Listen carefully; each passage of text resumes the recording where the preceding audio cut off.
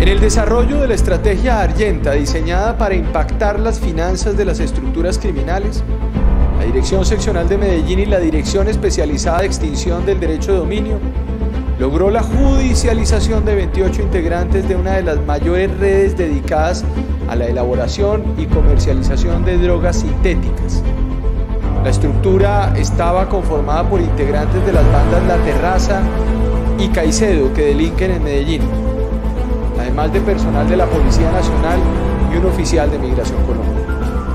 Con estas nuevas capturas dimos un golpe certero al tráfico de estupefacientes en esa región del país. De igual manera fueron impuestas medidas cautelares con fines de extinción de dominio sobre dos fincas,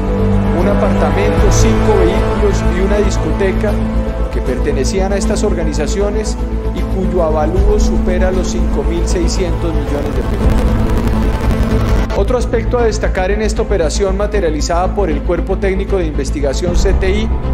fue la incautación de 12 kilogramos de tucibi o cocaína rosada, uno de los mayores hallazgos de este tipo de sustancia en el país. Adicionalmente se incautó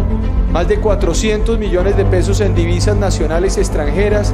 10 armas de fuego y computadores. Como lo anuncié en Cartagena el pasado martes, en desarrollo de una ofensiva contra el narcotráfico,